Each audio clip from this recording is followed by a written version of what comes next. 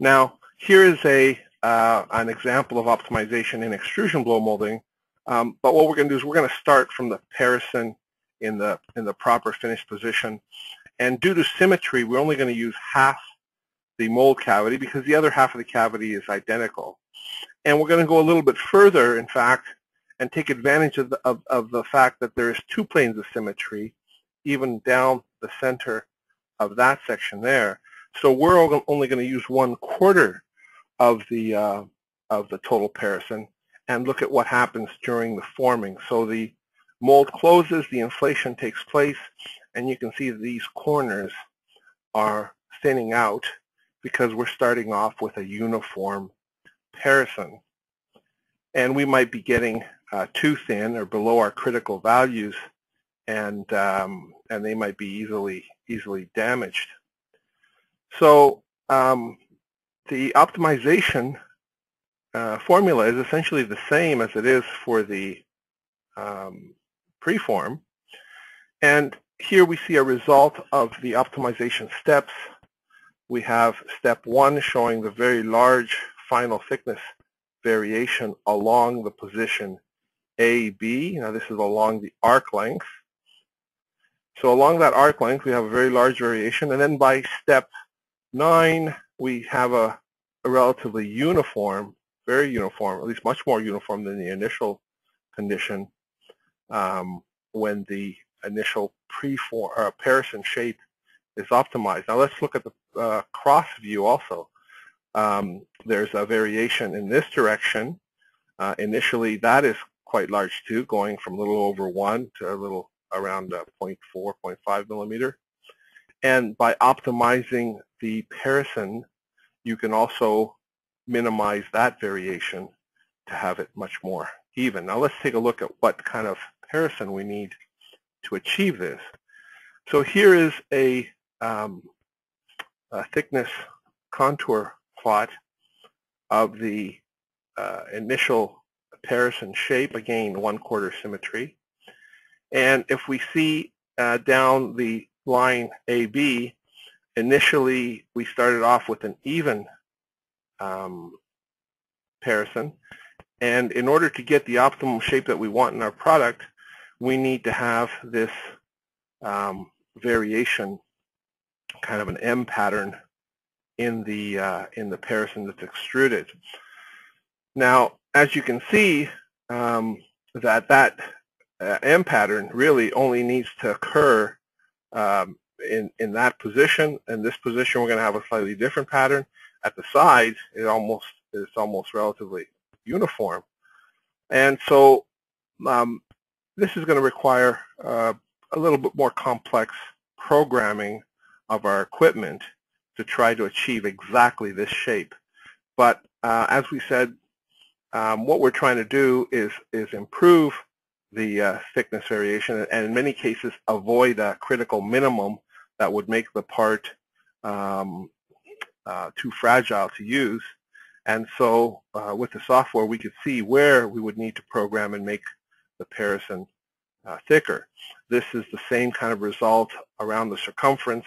So AB now is in this orientation and you can see that with the initial, uh, this is the initial parison with even thickness, and the optimized requires a thin area near A and a thicker area, and then going back down to a thinner area um, at the other uh, point of symmetry. So the the and of course this varies depending on where you take this cut uh, in the in the height direction. Now this is an example of uh, the application of the software for a, uh, let's say, a more uh, simpler case in which we just need axial wall thickness control. So you can see we have this football-shaped um, uh, part that we want to make. And as you might expect, the region here, this graph shows kind of the thickness along that line. And the, uh, uh, the part is getting thinner uh, as you get to a larger diameter. So here the minimum thickness is shown to be somewhere in the uh, center of this part. And you can see the symmetry involved um, from this. Now this is a result um, uh, caused, that one is a result caused by an even initial parison.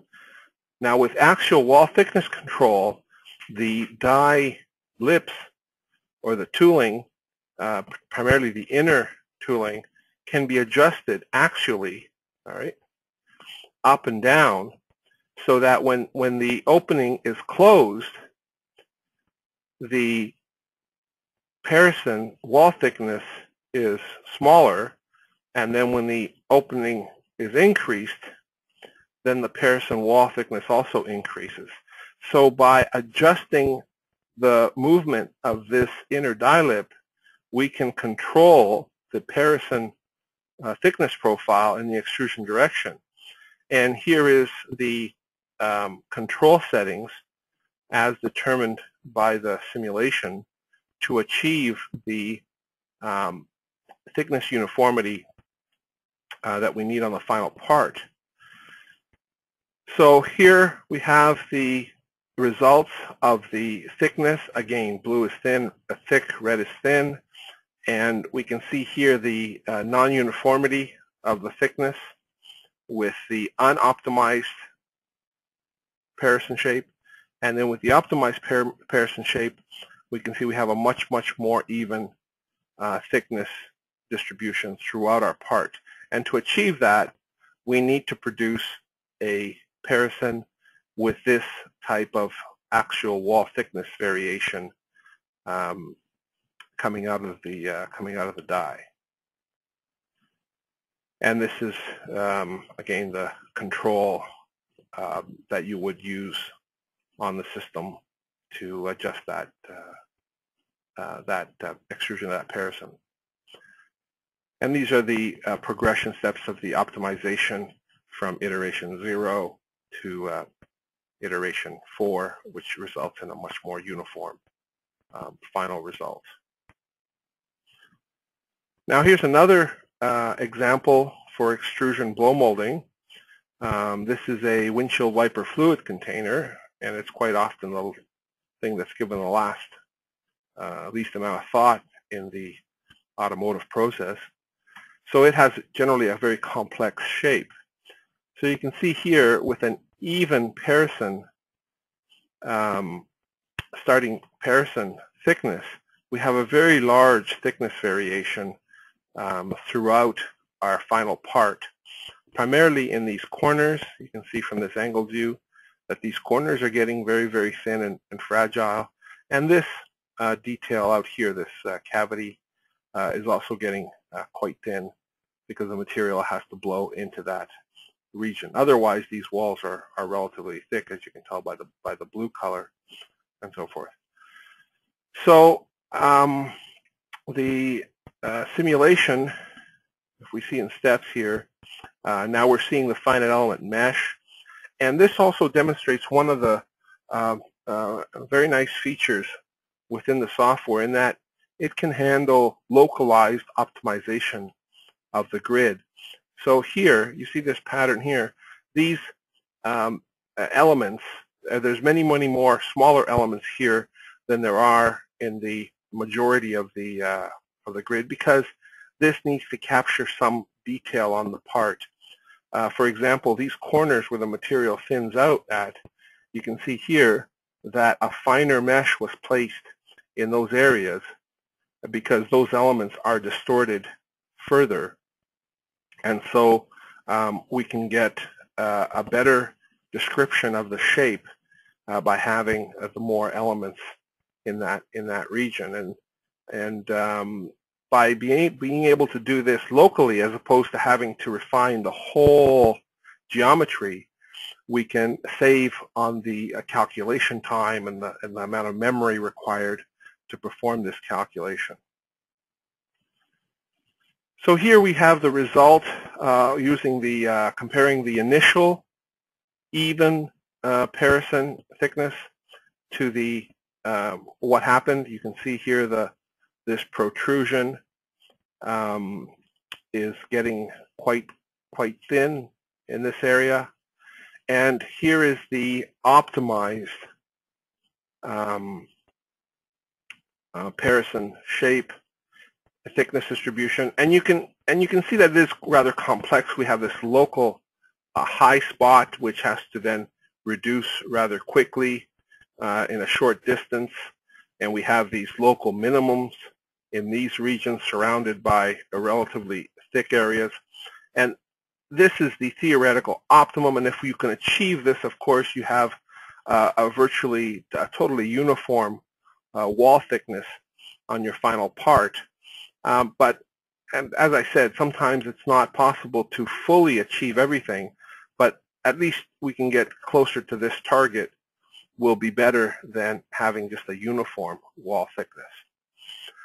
So here is the pre the programming of the uh, axial wall thickness control for this part. So this is the axial wall thickness adjustment um, to achieve this part.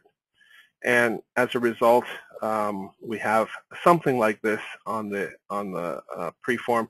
In order to in order to really achieve this, we need some partial wall thickness adjustment here at certain points and, and also here at certain points to, to do that. Um, but um, uh, nevertheless, the uh, parison was uh, the sorry the pre uh, parison yeah the parison was extruded uh, with a controlled thickness distribution. There's the part coming out of the cavity. There's a, a side view of the of the cavity, and if if this analysis is done in the engineering stage early enough, uh, you might be able to change the design of the part to um, uh, avoid potential trouble areas like maybe even you might get a web or you might even get a full blowout if the, if the part gets too thin. And these sort of things can be predicted by the simulation and uh, avoided early on in the design stage. Um, now, in this uh, project that was worked on, they had a verification of the simulation with the final part down this uh, dotted blue line of the part. They measured the thickness. This is the thickness profile. It's the uh, squares represent, or the bluer line represents the um, thickness along that line of the part. And the triangles uh, represent the simulation results. And as you can see within the error bars of the um, of the uh, simulation, the results are very, very close uh, to um, to the reality. So, in conclusion, um, optimization of blow molding is now fully automated um, with the aid of simulation software. For injection stretch blow molding, the initial thickness profile of the preform can automatically be optimized. And for extrusion blow molding, um, not only the initial parison thickness profile, but also the axial wall thickness and partial wall thickness uh, extrusion control settings recommendations can be um, automatically optimized and provided from the software. So thank you for your attention. And um, at this moment, I'd be pleased to try and answer any questions. If we don't get to your question or if you think of something later, um, please feel free to send me an email at uh, this address, jp, just two letters, jp at compuplast.com, or call me directly at 905-814-8923, extension 701. Thank you very much.